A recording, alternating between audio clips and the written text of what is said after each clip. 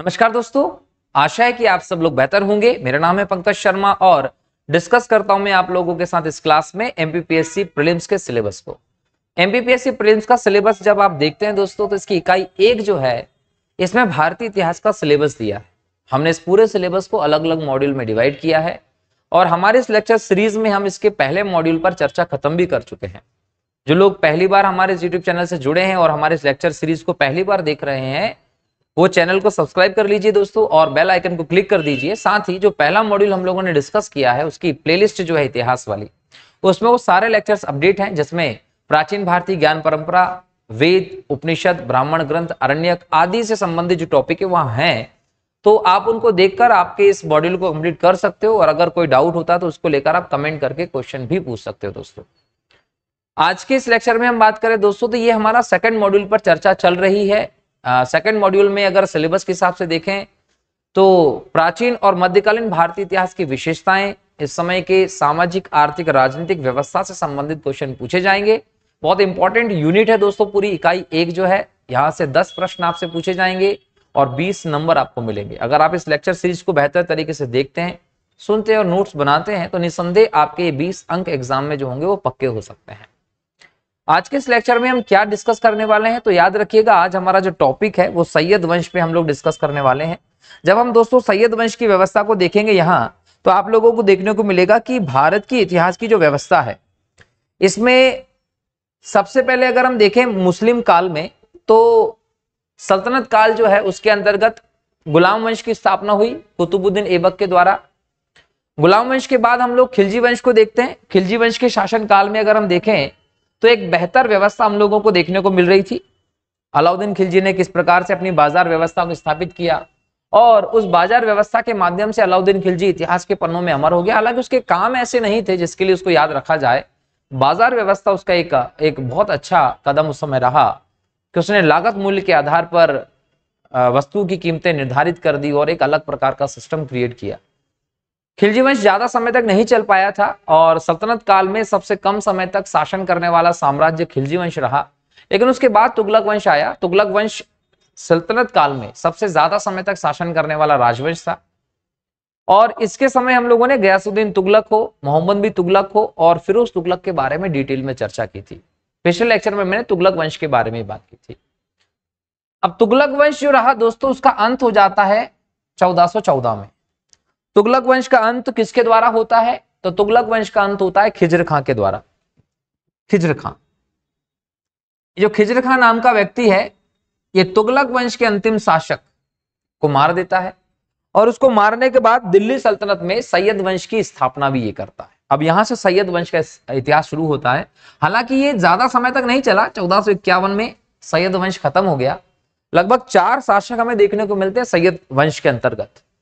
लेकिन ये एक इंपॉर्टेंट वंश है। किस दृष्टि से जब आप दिल्ली सल्तनत के पूरे इस टॉपिक को पढ़ रहे हैं तो दिल्ली सल्तनत का अगर टॉपिक पढ़ रहे हैं तो सैयद वंश इंपॉर्टेंट है। खिजर खां से पहले भी क्वेश्चन आए तो आगे भी पूछ सकता है। जब हम सैयद वंश की इस व्यवस्था को दोस्तों यहाँ देखते हैं तो हम लोगों को यहाँ समझ में आता है कि इसके जो शासक थे वो कौन कौन से थे। तो याद रखिएगा कि हमें दिल्ली सल्तनत में एक व्यक्ति दिखाई पड़ता है। इस व्यक्ति का नाम रहा दौलत खान जो तुगलक वंश का अंतिम शासक था महमूद, उसकी डेथ लगभग 1412 के आसपास हो जाती। और उसकी मृत्यु के बाद हम देखें तो लगभग 1414 में हम देखते हैं कि खिजर खां जो है, वो सैयद वंश की नींव रखता है। अब ये 1412 में इसकी डेथ के बाद दो साल की अवस्था में हम देखें, बीच में तो यहाँ पर दौलत खां नाम का व्यक्ति हमें दिल्ली सल्तनत में दिखाई पड़ता है। खिजर का आता है दौलत खां को हरा देता है और दौलत खां को हराने के बाद दिल्ली पर कब्जा कर लेता खिजर खां का दिल्ली पर हो गया कब्जा। अब खिजर खां ने दिल्ली पर कब्जा करने के बाद जिस वंश की स्थापना की, उसे नाम दिया गया सैयद, क्योंकि ये सैयद था दोस्तों। ये सैयद वंश शुरू हुआ।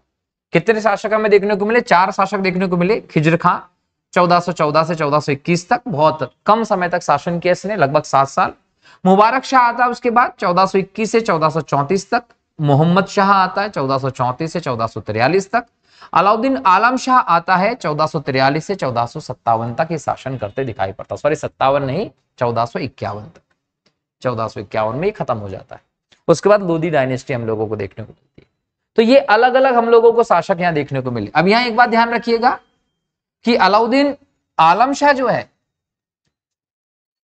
यहाँ इसकी ये जो ड्यूरेशन है, वो सत्तावन क्यों दिया है, उसको भी समझ लीजिएगा कि खिलजी वंश के बाद तुगलक वंश और तुगलक वंश जब 1414 में खत्म हुआ तो उसके बाद 1414 से चौदह तक ही सैयद वंश रहता है। लेकिन ये अलाउद्दीन आलम शाह की मृत्यु चौदह ईस्वी के आसपास होती है।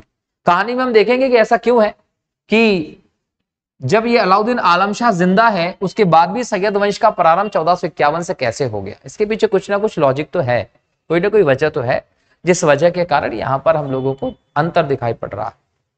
ठीक है? एक एक करके इन शासकों पर चर्चा करते हैं, आपका डाउट क्लियर हो जाएगा। सबसे पहले खिजर खां की बात करते हैं। तो ये समझ में आता है कि खिजर खां जो है, वो था कौन?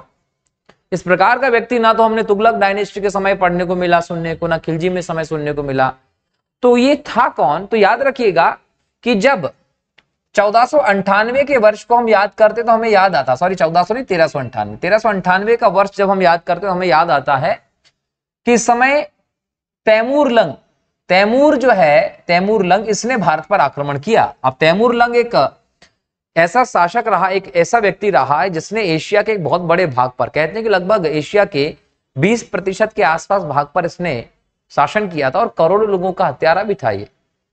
एक युद्ध के दौरान इसका एक पैर कट गया था। इस वजह से इसको लंगड़ा, तैमूर लंग कहते थे। लंगड़ा हो गया था इसलिए, एक पैर से लंगड़ा था ये। इसकी एक विशेषता थी, जब इसने दिल्ली पर आक्रमण किया था तेरह में तो इसने कई सारे लोगों को मारा, दिल्ली को बुरी तरीके से लूटा और कई सारे मंदिरों को भी तबाह कर दिया था। ये कहा जाता है कि दिल्ली, जो तैमूर लंग के द्वारा इस समय ध्वस्त की गई थी उसका प्रभाव बहुत लंबे समय तक हमें देखने को मिला था। और ये जो प्रभाव था उसके कारण आगे के शासक कहीं ना कहीं कमज़ोर भी हुए और वो कमज़ोरी हमें बाद में दिखाई भी पड़ती है कि तुगलक वंश के शासक जो थे वो कुछ भी नहीं कर पाए। तुगलक वंश के अंत में एक कारण था तैमूर का आक्रमण। तैमूर के आक्रमण की एक एक एक विशेष बात बताएँ, जो एक बहुत बड़ी नकारात्मक बात थी कि तैमूर जब भी जाता था तो युद्ध में जो भी सैनिक मारे जाते थे, सैनिक मारे जाते थे, अब सैनिक मारे गए तो इन मारे गए सैनिकों के गर्दन को मुंडी काट लेता था, खोपड़ी काट लेता था। ये खोपड़ी काट लेता था और इन खोपड़ी को जहाँ जहाँ से निकलता था, वहाँ पेड़ों के ऊपर लटका देता था, कहीं सीधी सीधी सड़क के बीच में माला लगा देता था जगह जगह उन खोपड़ी से चिन्ह, निशान छोड़ते जाता था। तो ये खोपड़ी के निशान जो है, वो कहीं ना कहीं तैमूर की पहचान बन गए थे। जहाँ भी ऐसे खोपड़ी लटकी मिल जाती थी, समझ लिया जाता था कि तैमूर का आक्रमण हुआ था। कई बार तो हद हो गई। इसने ये जो खोपड़ी रही है मनुष्यों की, इनकी पूरी पूरी दीवार टाइप बना दी थी, दीवार बना दी थी। इसकी मीनार बना दी गई। ये मीनार बना दी गई। चूँकि आगे जो हम बाबर और मुगलों को पढ़ेंगे, वो भी कहीं ना कहीं इसी के वंशज हैं। तो उनमें भी हम लोगों को देखने को मिला कि बाबर ने या अकबर के समय जब इनकी सेना भी जीती है तो इनकी सेना ने भी इस प्रकार से मानव खोपड़ियों की पिलर, मीनार, दीवारें बनाई थी, निशान लगाए थे। जिससे हम लोगों को पता चलता है कि इनके बीच में संबंध जो रहा है, एक वंशानुगत व्यवस्था टाइप की दिखाई पड़ती है यहाँ इसकी। खैर तो तैमूर भारत आया और भारत में दिल्ली को बहुत बुरी तरीके से इसने प्रभावित किया और जब प्रभावित किया तो इसका सेनापति हमें दिखाई पड़ता है खिजर का खिजर का कौन था? तैमूर लंका सेनापति था। और यह भी याद रखिएगा कि जो तैमूर था इसके बारे में हम लोगों को जानकारी किससे मिलती है? या खिजर खां के बारे में हमको जानकारी किससे मिलती है? तारीख मुबारक शाही। ये तारीख मुबारक शाही याहिया बिन अहमद सरहिंदी के द्वारा लिखी गई थी। एग्ज़ाम में क्वेश्चन पूछेगा कि तारीख फिरोज शाही किसकी रचना है? तो याहिया बिन अहमद सरहिंदी की रचना है। और इसमें खिजर खां का ज़िक्र करते हुए कहा गया कि खिजर खां सैयद था। क्योंकि खिजर खां सैयद था, इसलिए इसके द्वारा स्थापित वंश भी सैयद वंश हुआ था। जब खिजर खां शासक बनता है दोस्तों तो इसने कभी अपने आप को स्वतंत्र रूप से शासक नहीं माना। खिजर खां ने कभी स्वयं को स्वतंत्र रूप से शासक नहीं माना था। अब खिजर खां ने कभी स्वतंत्र रूप से खुद को शासक नहीं माना, इसका क्या मतलब है? इसका मतलब यह है कि ये किसी के अधीन रहकर शासन कर रहा था। ये अधीन था। किसके अधीन था? तो याद रखिएगा कि तैमूर और उसके पुत्र शाहरुख मिर्ज़ा ये समरकंद क्षेत्र का शासक था, समरकंद क्षेत्र का शासक था। तो हमेशा इसने अपने आप को इसके अधीन माना, इनके अधीन रहते हुए ही तैमूर के इस सेनापति खिजर खान ने शासन किया था। ये ध्यान रखिएगा तो एग्ज़ाम में आप लोगों से क्वेश्चन पूछेगा कि खिजर खान अपने आप को किसके अधीन मानता था? तैमूर और उसके पुत्र शाहरुख मिर्ज़ा जो उसका उत्तराधिकारी बना था। और यह भी याद रखिएगा कि तैमूर ने जब भारत में सिक्के चालू करे तो इन सिक्कों पे या तो तुगलक शासकों का नाम लिखा हुआ था। तुगलक शासकों का चित्र बना हुआ था, नाम लिखा हुआ था। तो तुगलक शासकों के जो नाम वाले पुराने सिक्के थे, वो तो खिजर खान ने ऐसे कैसे चलने दिए? लेकिन जब खिजर खान ने नए सिक्के ढालने का काम किया ना तो नए सिक्कों पर खिजर खान ने तैमूर की और शाहरुख मिर्ज़ा के नाम और उनकी आकृति को अंकित करवाया था। ये हम लोगों को पता चलता। है और इसी से तो हम लोगों को पता चलता है कि ये खिजर खान जो इसने कभी स्वतंत्र रूप से शासन नहीं किया। ये शाहरुख या तैमूर के अधीन शासन कर रहा था। तो हम यहाँ कह सकते हैं कि खिजर खान ने सुल्तान की उपाधि धारण नहीं की थी तो क्या उपाधि धारण की थी? ये रैयत आला की उपाधि धारण करता, रैयत आला की उपाधि धारण करता है, अपने आप को तैमूर का माथहत बताता है और अपने आप को किसानों का हितेशी भी बताता है। किसानों का हितेशी भी बताता है। तो इस प्रकार से खिजर खान ने अपना शासन करना स्टार्ट किया। और एक नए वंश की नींव भी रखी, लेकिन खिजर खां महज सात साल ही शासन कर पाया। लंबे समय तक ये शासन नहीं कर पाया और खिजर खां की मृत्यु हो गई कब? 1421 में। खिजर खां की जब मृत्यु हुई तो उसकी मृत्यु के बाद उसका पुत्र मुबारक शाह जो है, ये 1421 में गद्दी पर बैठता है। और मुबारक शाह जो है ना, इसने गद्दी पर बैठने के बाद पता क्या किया? इसने गद्दी पर बैठने के बाद एक तो जो शाहरुख का आधीन इसके पिता ने माना था तैमूर के सिक्के माने थे, इनका नाम हटा दिया। साथ ही साथ, जो सिक्के थे उन पर जो तुगलक शासकों का नाम था, तुगलक शासकों का नाम और चित्र भी हटा दिया। और इसने हिजर खां के उत्तराधिकारी के तौर पर, या सैयद वंश के ऐसे शासक के तौर पर, कि जो सैयद वंश का शासक है और स्वतंत्र हो, सुल्तान की उपाधि धारण कर ली। तो सैयद वंश में पहला स्वतंत्र सुल्तान अगर कोई था तो वो कौन था? मुबारक शाह था, ये ध्यान रखिएगा। इसके समय सबसे बड़ी समस्या थी कि कई सारे विद्रोह हुए थे। इसके समय बहुत सारे विद्रोह हुए थे और जब विद्रोह हुए थे इस वजह से कहीं ना कहीं इसकी सत्ता कमज़ोर हुई थी। इसकी सत्ता कमज़ोर हुई थी, विरोध एक के बाद एक देखने को मिल रहे थे। इसने क्या किया? यमुना नदी के किनारे मुबारकाबाद नगर की भी स्थापना की थी और जिस सरहिंदी की हमने बात की थी कि तारीख फिरोज शाही की रचना की थी तारीख फिरोज शाही की रचना किसने की थी? सरहिंदी ने। तो सरहिंदी जिन्होंने तारीख फिरोज शाही की रचना की थी, जिससे हम लोगों को खिजर खां की जानकारी मिलती है, उनको संरक्षण दिया था किसने? मुबारक शाह। तो एग्ज़ाम में पूछेगा कि मुबारक शाह ने किसको संरक्षण दिया था? तो सरहिंदी को संरक्षण दिया था। इसके अलावा इसका वज़ीर सरवर और मुल्क था। याद रखिएगा, जो सरवर और मुल्क था ना, इसने सुल्तान के खिलाफ षड्यंत्र करना शुरू कर दिया। और सरवर और मुल्क ने सुल्तान के खिलाफ षड्यंत्र किया और इस षड्यंत्र के माध्यम से सुल्तान की 19 फरवरी 1434 को हत्या कर दी। और मुबारक शाह का शासन खत्म हो जाता है उसके वज़ीर के द्वारा। अब ये वज़ीर जो है ना, सरवर और मुल्क, इसकी ताकत बढ़ेगी। वज़ीर सरवर और मुल्क की सहायता से, हम बोल सकते हैं कि जो अमीर थे दिल्ली के, जो सरदार थे, उन्होंने मोहम्मद शाह नामक व्यक्ति को गद्दी पर बिठा दिया। अब ये मोहम्मद शाह शासक बना चौदह से चौदह कुछ लोग बोलते हैं पैतालीस तक शासन किया इसने। ये सुल्तान बन गया। अब सुल्तान तो ये बना, लेकिन प्रभाव किसका है? प्रभाव है सरवर और मुल्क।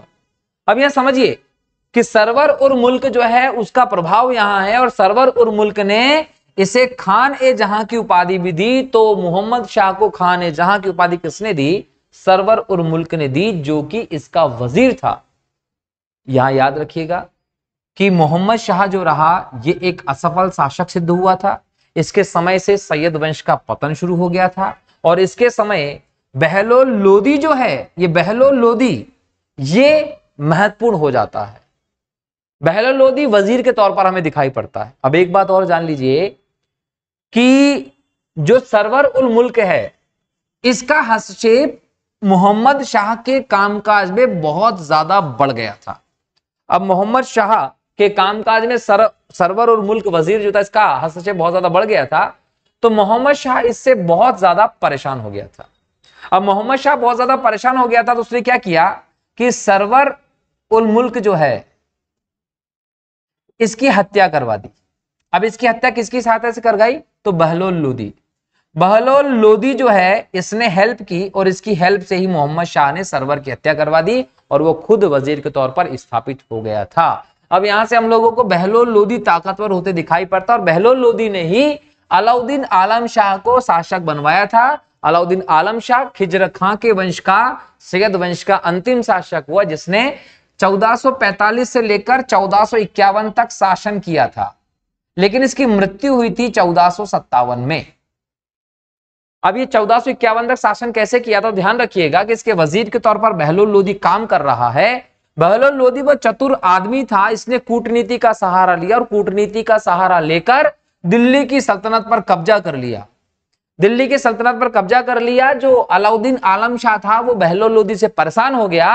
अंततः सुल्तान अलाउद्दीन आलम शाह अपनी पूरी सत्ता छोड़कर बदायूं, उत्तर प्रदेश चला गया। और पूरी सत्ता किसको सौंप दी? सौंप दी अलाउद्दीन आलम शाह ने सत्ता बहलोल लोदी को, ये कब गया बदायूं? तो चौदह में गया। चौदह में अलाउद्दीन आलम शाह ने अपनी सत्ता दिल्ली की किसको दे दी? बहलोल लोदी को दे दी। इसलिए हम कहते हैं कि सैयद वंश चौदह तक ही रहता है, क्योंकि चौदह में सत्ता बहलोल लोदी के हाथ में आ जाती है। और हम बोल सकते हैं कि लंबे समय तक हम कह सकते हैं कि आलम शाह ज़िंदा तो रहा लेकिन वो अपनी मृत्यु तक हम कह सकते हैं कि किसके अधीन रहा है? वो रहा है बहलोल लोदी के अधीन। इसलिए वो चौदह तक ही शासन की स्थिति में रहा। अब यहाँ से हम लोगों ने किसको देखा? बहलोल लोदी को, कि बहलोल लोदी ने किस प्रकार से कूटनीतिक स्थिति को दिखाते हुए अपनी शासन स्थापित कर दिया। और बहलोल लोदी ने दिल्ली में कौन से राजवंश की स्थापना की? लोधी वंश की स्थापना की। जब हम लोधी डायनेस्टी की बात करते हैं तो हमें दिखाई पड़ता है चौदह से लेकर 1526 तक का शासन। यही वो वंश रहा जिसका अंतिम शासक इब्राहिम लोधी था, जिसे मारा था बाबर ने, और मुगल साम्राज्य की स्थापना हुई थी भारत में। अब जब हम यहाँ बात करते हैं लोधी वंश की तो लोधी वंश को अफगान वंश के नाम से भी जानते हैं। ध्यान रखिएगा कि बहलो लोधी जो था, वो एक अफगान था। बहलो लोधी एक अफगान था और इसका संबंध अफ़गानिस्तान से रहा है। चूँकि ये अफ़गानिस्तान से संबंधित था, इसलिए इसको अफगान कहा गया। बहलोल लोदी के इस वंश में तीन शासक हमें देखने को मिलते एक बहलोल लोदी एक सिकंदर लोदी और एक इब्राहिम लोदी बहलोल लोदी ने स्थापना की। सिकंदर लोदी ने थोड़ा सा शासन बढ़ाया था और इब्राहिम लोदी के समय बाबर का आक्रमण हुआ। अब हम बहलोल लोदी की बात करें तो लगभग चौदह से चौदह तक इसने शासन किया, लंबे समय तक। अफ़गानिस्तान में इसका जन्म हुआ था। गिलजाई कबीले से संबंधित एग्ज़ाम में क्वेश्चन पूछेगा कौन सा शासक गिलजई कबीले से संबंधित था? तो बहलो लोदी गिलजई कबीले से संबंधित था। इस गिलजई कबीले की प्रमुख शा, शाखा थी शाहुर वेल इस शाहुर वेल में पश्तून परिवार में इसका जन्म हुआ था। तो बहलो लोदी पश्तून था गिलजई कबीले से संबंधित था मूल रूप से अफगान था। इसके द्वारा जो वंश स्थापित किया गया वो भारत में पहली बार अफगान साम्राज्य था। दोस्तों ये ध्यान रखिएगा। 19 अप्रैल चौदह को बहरोल लोदी ने बहलोल शाह गाजी के नाम से गद्दी प्राप्त की थी और इसने गद्दी प्राप्त करने के बाद बहलोली नाम के चांदी का सिक्का भी चलाया था। तो बहलोली सिक्का किसने चलाया? बहलोल लोदी ने। लेकिन क्वेश्चन पूछेगा कि बहलोली सिक्का किस धातु का था? तो चांदी की धातु का हुआ करता था। इसके बारे में जानकारी कहाँ से मिलती? तारीख ए दाऊदी का लेखक अब्दुल्ला जो था। वो क्या कहता? वो कहता है कि सामाजिक सम्मेलनों के अवसर पर वह कभी सिंहासन पर नहीं बैठा। कभी भी बहलो लोधी सामाजिक सम्मेलनों के अवसर पर सिंहासन पर नहीं बैठा और न ही उसने अपने सरदारों को कभी खड़े रहने दिया। आम दरबार तक में वह सिंहासन पर ना बैठकर नीचे गलीचे पर बैठता था। इस प्रकार का शासक था।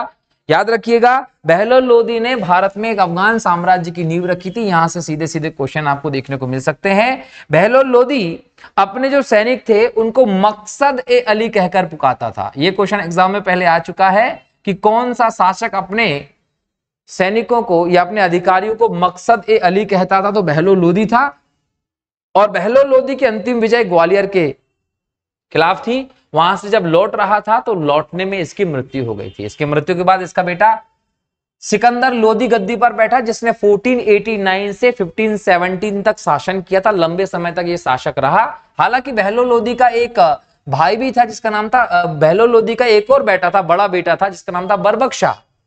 बरबक शाह सिकंदर लोदी का भाई था, लेकिन इसको गद्दी पर न बिठाकर सिकंदर लोदी खुद शासक बन गया। सिकंदर लोदी का मूल नाम था दोस्तों निज़ाम खां। तो एग्ज़ाम में पूछेगा कि लोधी वंश का कौन सा शासक था, जिसका नाम निज़ाम खां था तो वो सिकंदर लोदी था। सिकंदर लोधी जो है, ये 17 जुलाई 1489 को गद्दी पर बैठता है और इसने उपाधि धारण की थी सुल्तान सिकंदर शाह की।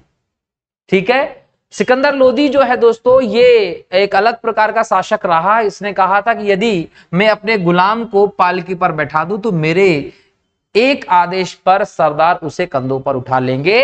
मतलब इसके जो सरदार थे, सरदारों पर इसका अच्छा खासा नियंत्रण था। तो एग्ज़ाम में पूछेगा कि वो कौन सा शासक था जिसने अपने सरदारों पर कठोर नियंत्रण स्थापित करके रखा था?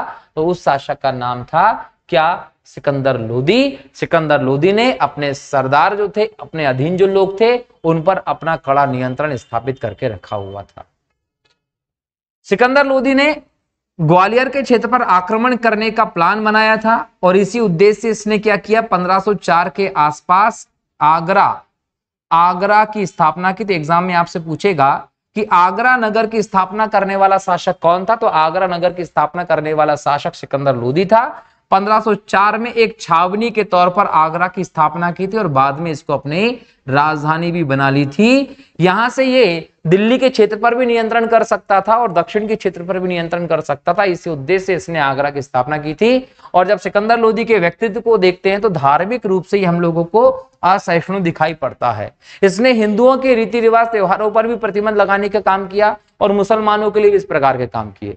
पीरों की मजार पर जाने पर ताजिया निकालने पर, संगीत, गाना, बजाना आदि करने पर इसने मुसलमानों के ऊपर भी प्रतिबंध लगा दिए थे। इसके अलावा इसने यमुना में स्नान करने पर प्रतिबंध लगा दिया, सर मुंडवाने पर प्रतिबंध लगा दिया। तो इस प्रकार के प्रतिबंध लगाने वाला कोई शासक रहा है तो वो सिकंदर लोदी था, जो धार्मिक रूप से बहुत ज़्यादा असहिष्णु माना गया और इतना असहिष्णु था कि इसने मुसलमानों के भी और हिंदुओं दोनों के व्यवस्थाओं पर प्रतिबंध लगाने का काम किया था। सिकंदर लोधी ने कृषि और व्यापार के विकास के लिए काम किए थे। कुछ सिंचाई की इसकी व्यवस्था की थी, भूमि को बेहतर करने की व्यवस्था की थी। भूमि के मापन के लिए उनचालीस अंगुल का एक पैमाना भी विकसित किया था, जिसे गज सिकंदरी कहा गया था। तो गज सिकंदरी को अपनाने वाला शासक सिकंदर लोदी था, जिसका माप था उनचालीस अंगुल के बराबर। इसके अलावा इसने अलाउद्दीन खिलजी के भांति व्यवस्था को अपनाया और सभी वस्तुओं की कीमतों को कम करने का प्रयास किया। इसने निर्माण कार्य में सिर्फ़ मोट की मस्जिद ही बनवाई थी, दोस्तों, और सिकंदर लोदी एक फारसी का ज्ञाता था। मतलब आप ये कह सकते हैं कि सिकंदर लोदी एक विद्वान शासक था। विद्वान शासक था, फारसी का ज्ञाता था, एक लेखक था। इसने अपने लेखों को गुलरुखी के उपनाम से लिखना शुरू किया था फारसी में। इसको शहनाई बजाने में और संगीत में रुचि थी, लेकिन ये अपने साम्राज्य में संगीत पर प्रतिबंध लगा चुका था, नाच गाने पर प्रतिबंध लगा चुका था, लेकिन ये संगीत शहनाई का में इसमें बहुत रुचि थी। शहनाई ये बजाता था, एग्ज़ाम में क्वेश्चन पूछेगा, कौन सा सुल्तान शहनाई बजाता था? सिकंदर लोदी वैसे एक क्वेश्चन पूछता है कि मुगल काल का कौन सा शासक वीणा बजाता था? तो अकबर वीणा बजाने का शौकीन था।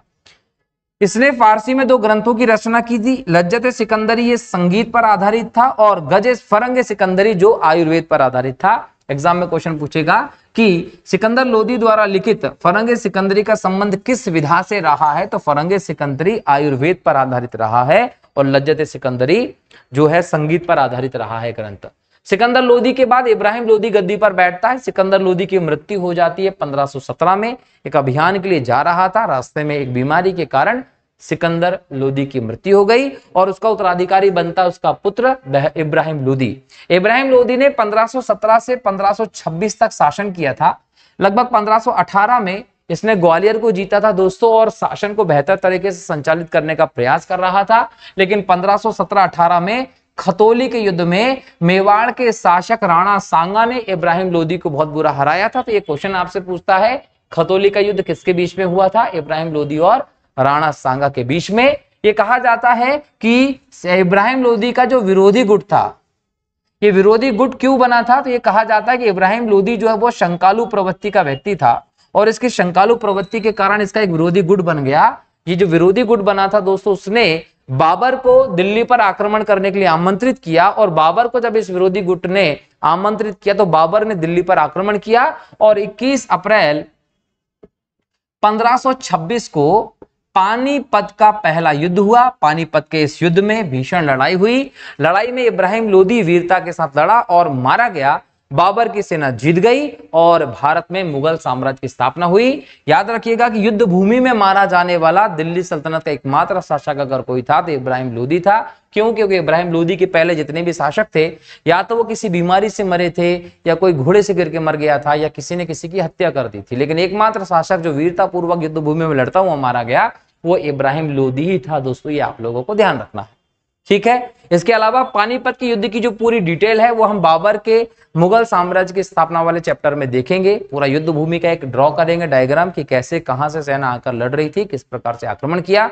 इब्राहिम लोदी के पास, है ना? इब्राहिम लोदी के पास एक लाख की सेना थी, लेकिन बाबर की सेना में कुछ ना कुछ तो ऐसी बात रही होगी, जिसकी वजह से इब्राहिम लोदी की इतनी बड़ी सेना हार गई थी दोस्तों। इब्राहिम लोदी के खिलाफ बाबर ने अपनी सैन्य सजावट कुछ इस प्रकार से की थी। जिसके कारण इब्राहिम लोदी को हराकर बाबर की छोटी सी सेना जीत गई थी। तोपों के प्रयोग की बात करेंगे, पूरा एक ड्रॉ करेंगे डायग्राम जिसके माध्यम से आपको क्लियर होगा युद्ध। लेकिन हाँ इब्राहिम लोदी सल्तनत काल का एकमात्र शासक था, जो युद्ध भूमि में लड़ता हुआ मारा गया था और मरने के बाद इसकी तारीफ़ भी की थी बाबर ने।